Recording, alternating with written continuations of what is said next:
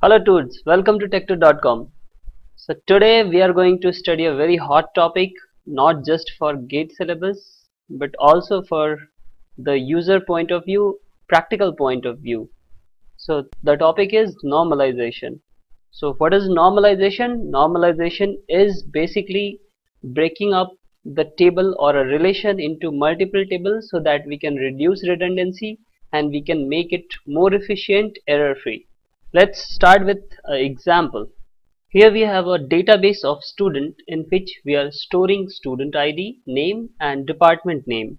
Now let's say there is a student of ID 1 name is S1 and department is CSE well so we have five students here S1 to S5 and they have corresponding departments.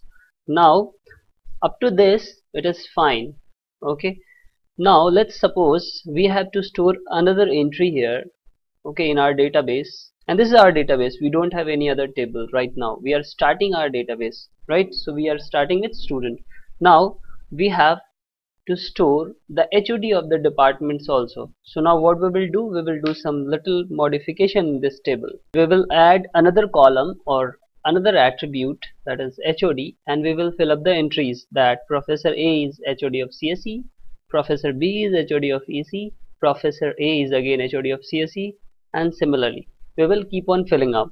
So now there is a point of observation that whenever there is a student student of computer science whenever there is a computer computer science student this entry is repeating CSE Professor A, CSE Professor A, CSE Professor A, right?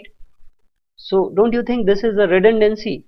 Because every time when you enter a CSE student, you will enter the branch CSE and then you will write Professor A, CSE Professor A, right? So similarly, this is a redundancy in our database. Now let's make it worst.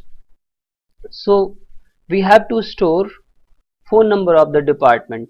Here we have another column which is phone number now situation becomes worst because we have to again store phone number of the department. Every time the department a new student is added. Let's say here in this case every time a CSE student comes you have to enter professor A and then 32272 32272 32272 right? So this is complete redundancy. The same thing we are storing again and again and this will increase the size of our database okay? So this is redundancy and this is what we have to remove. Now let's say the phone number is being changed. So computer science department phone number we are changing and it is now 32222 okay? More symmetric phone number. It's not just changed at one place. You have to find out all the computer science department students and corresponding phone number you have to change. This will be updated this will be updated right? So all will be updated 3 triple double two double two 3 double two double two right? So everywhere you have to update. Similarly in case of deletion if you want to delete an entry or a phone number or something you will have to delete everywhere okay? So this updation and deletion okay? And even if you are inserting a new column this insertion everything is a redundant process here okay? Everything all the processes will take much time and this database is completely inefficient. So that's where normalization comes into picture.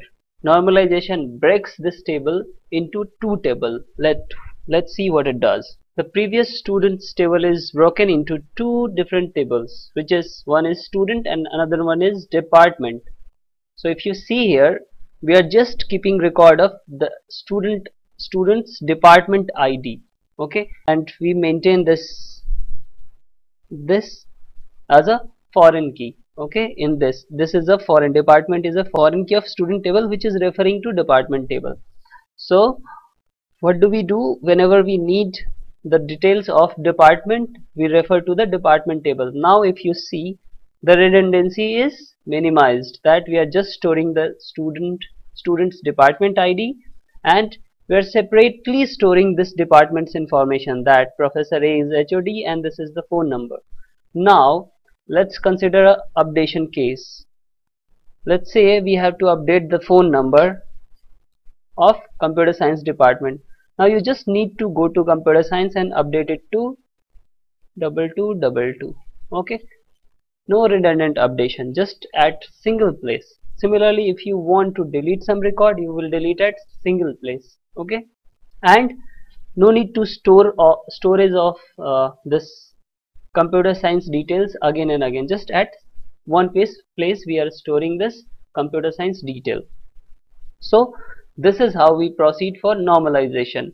If you see there is a point to notice that even after normalization we are storing this CSE two times three times. So for each for each student we are storing this CSE again. So here again if you somebody can say that you are storing three times this CSE and this is also a this is also a case of redundancy. So yes the answer is in relational database model we cannot remove redundancy. We can minimize but we cannot remove. Okay? So now there is a good practice in general. What we do is rather than storing id as let's say computer science CSE EC and all for each department and student we keep id as numeric values. That is 1 2 3 okay so let's say for this department id department we will rather than this CSE and all we will keep id as 1 2 3 and so on okay? And this will be auto increment. It will be incremented automatically whenever a new record is inserted into this table. And now here rather than storing this CSE entire text we will just store 1 1 1 this will be 2 this will be 3 okay so this the value which we have to store somehow we can decrease but we cannot remove redundancy okay so this is all about normalization, the basics of normalization. Now we will study the normalization process and the various normal form one by one. So let's get started. Thanks for watching.